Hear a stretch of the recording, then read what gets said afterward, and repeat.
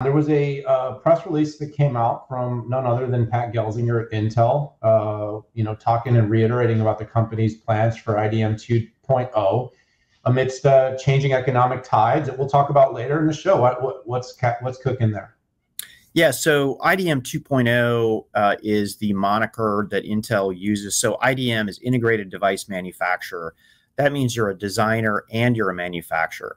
IDM 2.0 uh, was where, first of all, they opened up uh, IFS or they opened up their own foundry. Now they've had foundry capabilities before, but they're they're serious about it, and they're going to spend hundreds of billions of dollars to do this to get the scale that it takes to do leading edge nodes and uh, have the scale so your costs are low.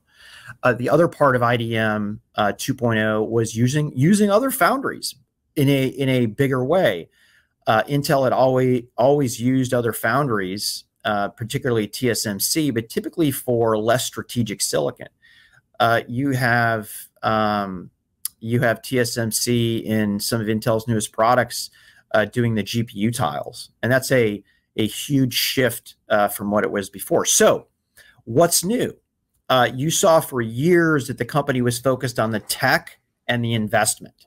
And you and I both talked to Pat Gelsinger uh, back at their Intel Innovation event, and he was very clear and he doubled down that said five nodes in four years. Okay, so that's the tech. Uh, we talked. We've talked about the funding and the hundreds of billions of dollars that um, Intel will not only invest themselves, they also are sharing risk with uh, a firm that the name uh, escapes me and they're also um, getting money. They're about smart financing.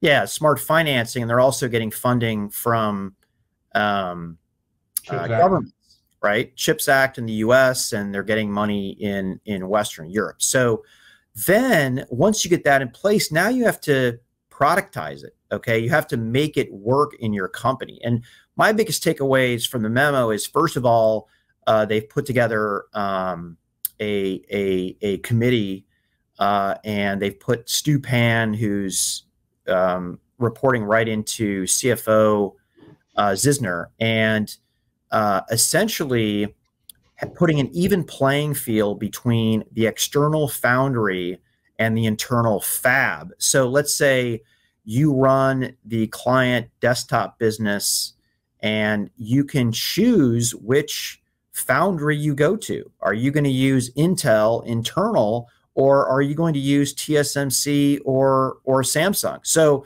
I think it's a big deal. It's actually productizing and enabling the technology which we really hadn't heard details from before.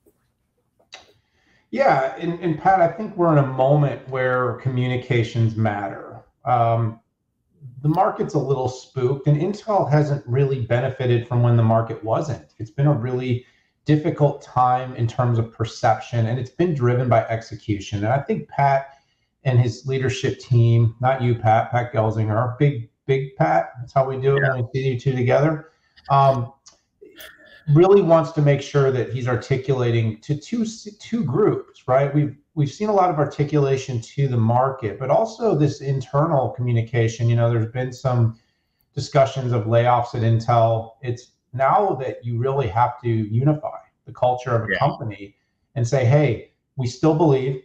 But not only do we believe, because I think that kind of speak has been somewhat commonplace over the last couple of years, but we have a plan. Yeah. And here's the plan. And so having a IAO or acceleration office that basically says, this is our plan. We are steadfast in executing this plan, execution reminder, and that we have personnel with great capabilities and competencies to make sure this plan stays on track, which is what everyone in the market is going to want to hear.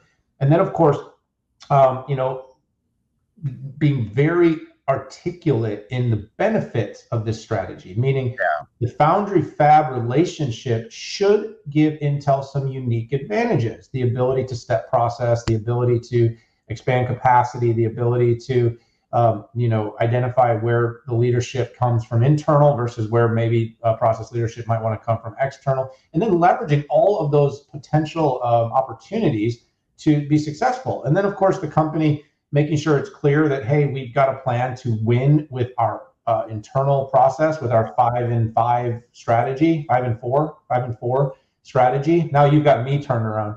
Um, and then on top of that, you know, with the advent of, of RISC, the advent of Arm, the uh, you know, saying, hey, we've got a plan to make sure that we are going to capitalize even in uh, processes that aren't uh, Intel-led design.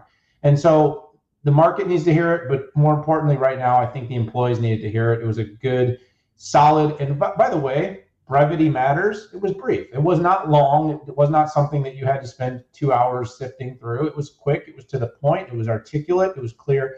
And I think us as analysts and hopefully employees of Intel see it, get it, and know. And I, like everything we say with Intel, Pat, and I reiterate, is proof will be in the pudding. We'll see how the execution goes. But these continued communications are promising.